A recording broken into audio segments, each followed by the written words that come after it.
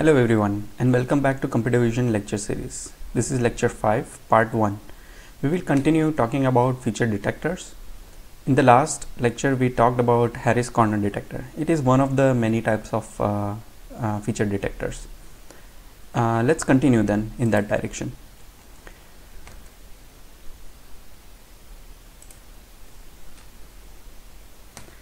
Um, in this fifth lecture, we ma majoritarily we will cover three main issues.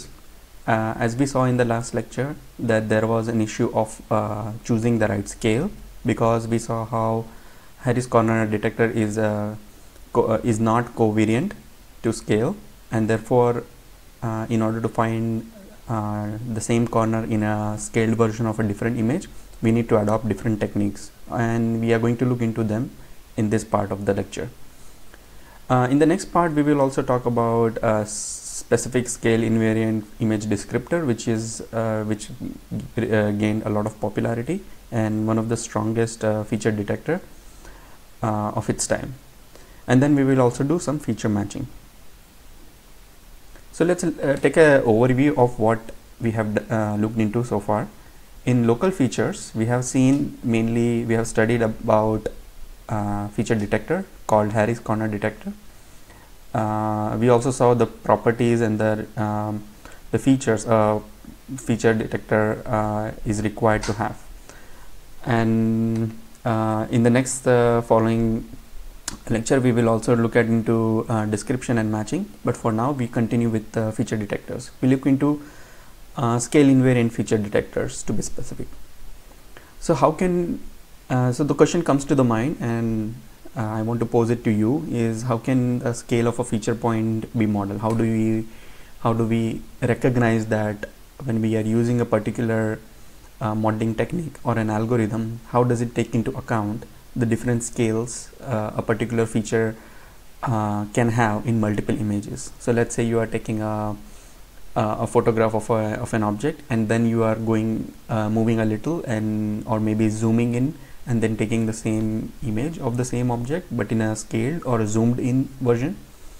And then you want to detect features at different scales. So uh, scales uh, pose the first uh, interesting problem for the current uh, uh, analysis of our feature detectors right?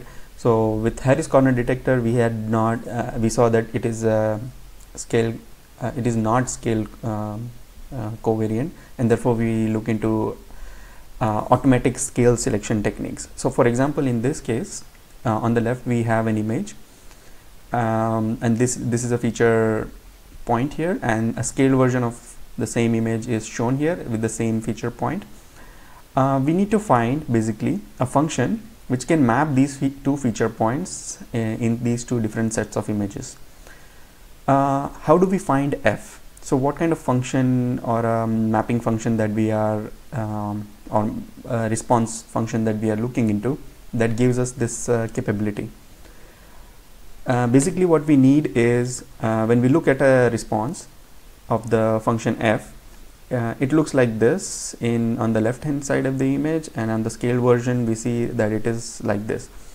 Um, so it is not clear which part of the response corresponds uh, to both the images. So we don't know we are not sure on which feature is the is the response um, um, matching right? So on the x axis here we have different scales uh, on and on which the uh, f function f is applied.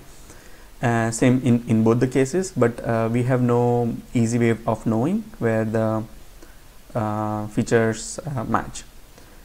Um, however but we know in a way that when the when we are using different scales uh, intuitively we know that uh, when the function has the high peak that is where the matching happens or that is where the features are uh, located. The function responses are similar.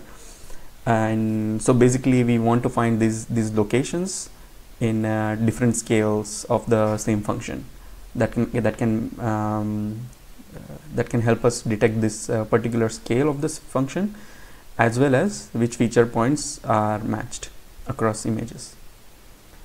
Um, so what could be a very good useful uh, uh, signature of this function? So this is these are simple um, again we go back to uh, Gaussians as we saw earlier as well.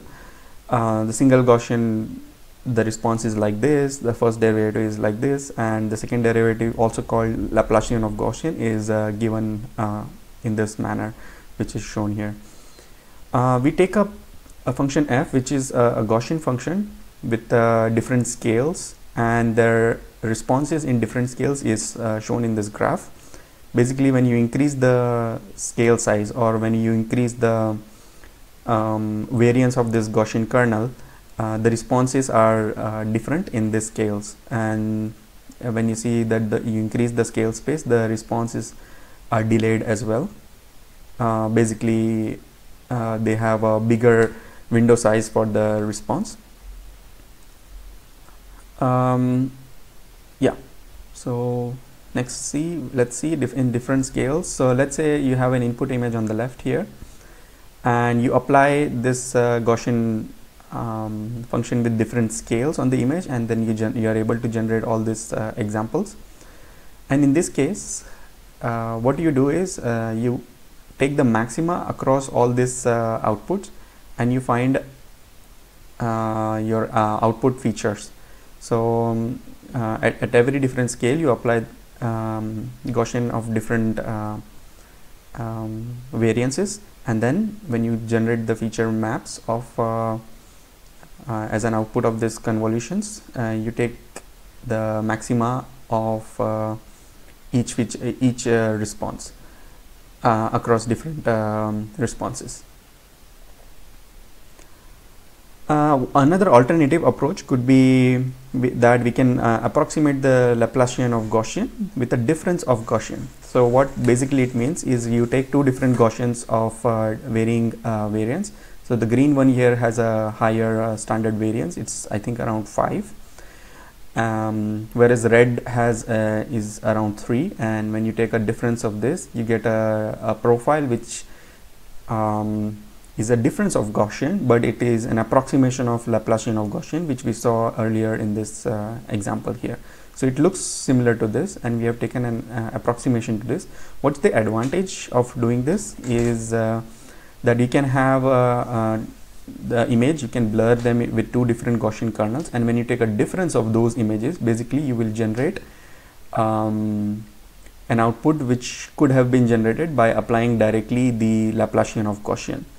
Um, an advantage of this is seen here. So when you are doing uh, when we are finding the um, when we are blurring the uh, the image with different kernel sizes and we take the differences we are able to generate um, the uh, difference of Gaussian uh, output for each uh, scale. So um, uh, the more the bigger the size. So the first attempt when you do the um, uh, difference between the first scale and then you increase the scale successively and then you just reuse the previously convolved uh, output uh, feature. And then uh, use it again and again. And this gives uh, uh, saves a lot of memory. And this is how you um, save computations. And you are able to generate the same features at different scales. And these are basically the results. So uh, larger circles basically represent the feature detected or the features detected uh, where the maxima of the particular um, kernel was uh, particular image was um, uh, present so here for example is a specific case where uh, you see that there is an eye here and there is a smaller scale which is able to detect the, like the corner of the eye whereas uh, there is a smaller, uh, slightly bigger um, circle which is able to detect a feature point in a um, larger scale basically. Um, so when you applied the, the responses across different um, uh, different responses uh, or the different kernels in uh, different sized kernels. You take the maximum of a particular scale and then um, you're you're printing the, that circle with that particular scale here.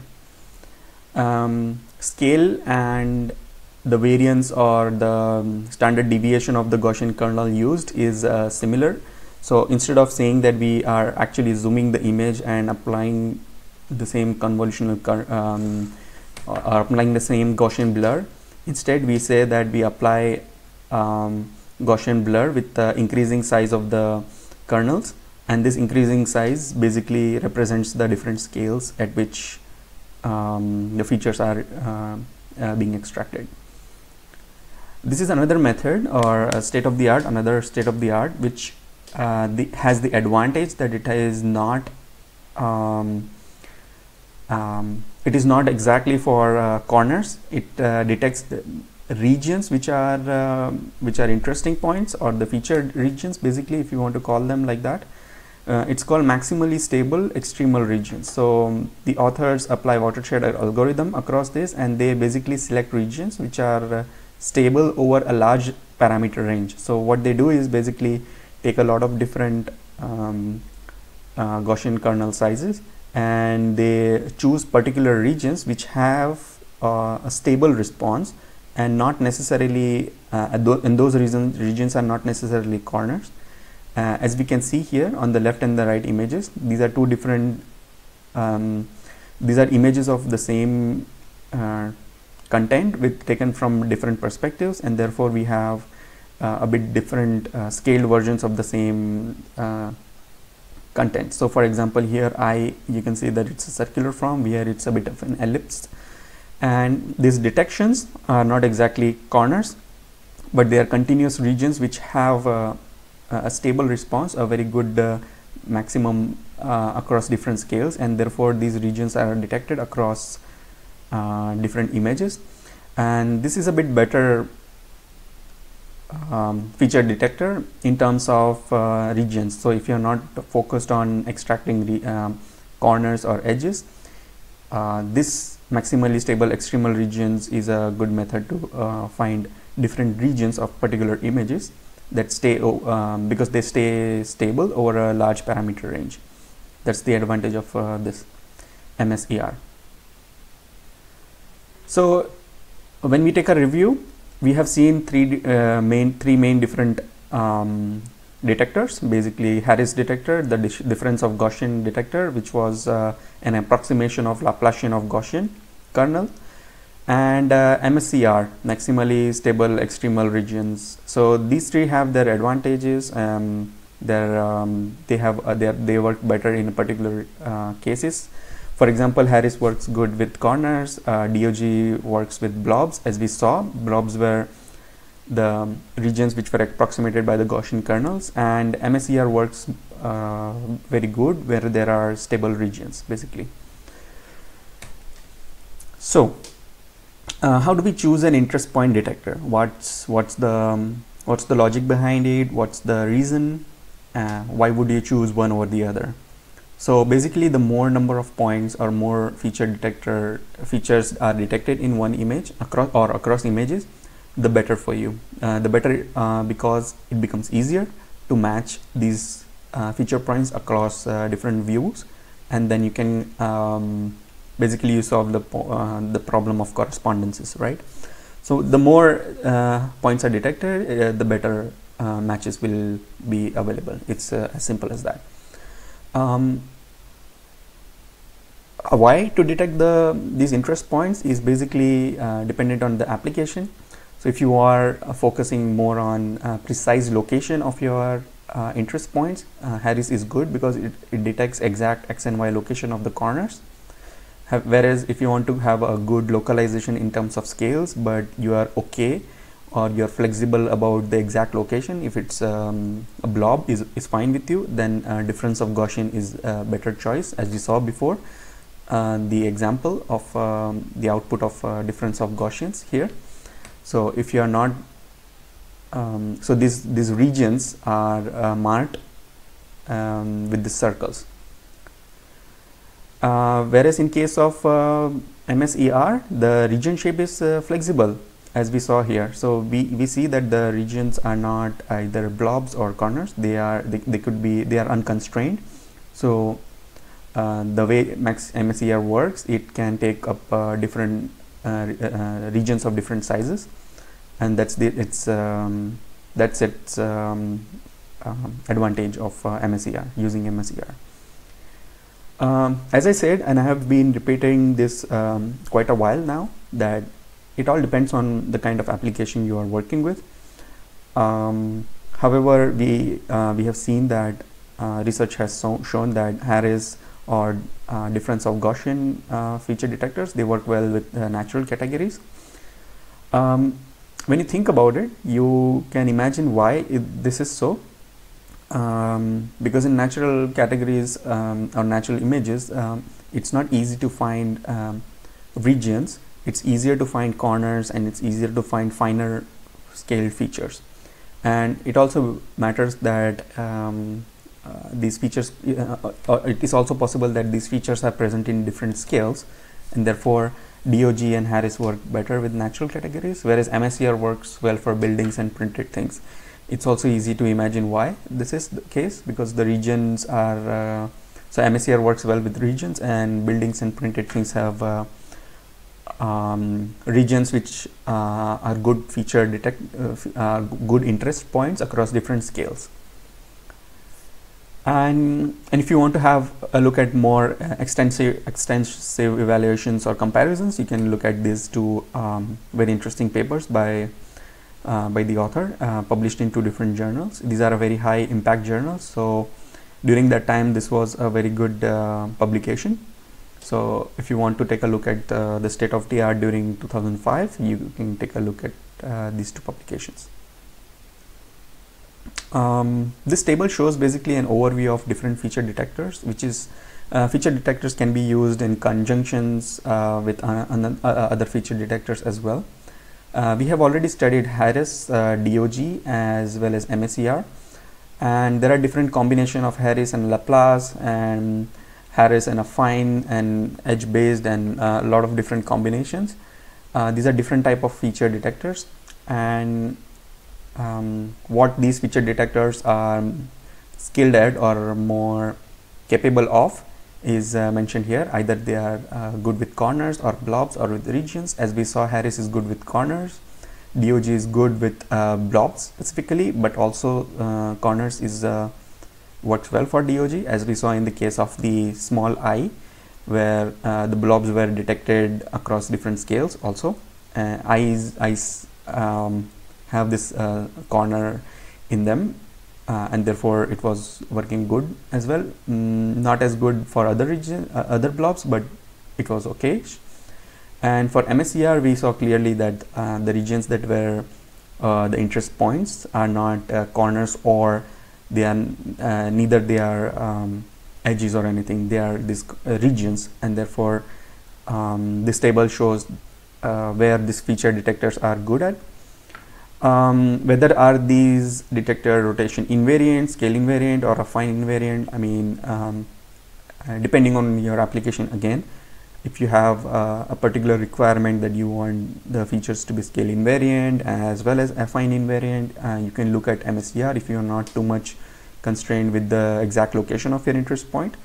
And uh, the localization accuracy repeatability robustness and efficiency is uh, is shown here um, with different authors giving it different um, uh, stars if you might want to call it uh, so this is this is basically a, a, very good comparison of different um, uh, key point detectors and that's it for um, for this lecture uh, for this part of the feature detect descriptors uh, lecture. In the next lecture, we are going to start talking about uh, scale invariant feature transform, a very good uh, algorithm which has which was a which has been a very good state of the art uh, for uh, almost a decade.